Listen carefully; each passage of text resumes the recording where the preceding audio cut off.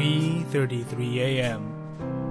A police barricade in the middle of the road is keeping me from getting home for an hour of sleep before a shower and work again tomorrow. A dead body in a car, feet dangling out the open door. The blood is still dripping from one of the legs.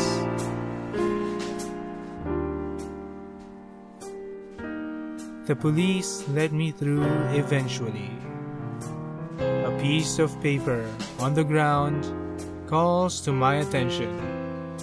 A weird kind of poetry.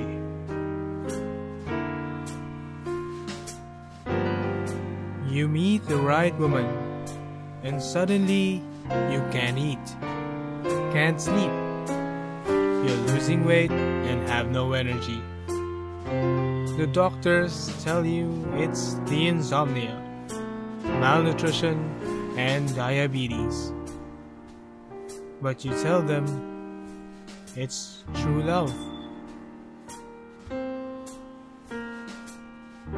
This is Radio Norm signing out. Have you listened to Jobber Talk lately? You should. It's an amazing show. And also, always check out Third World Linux.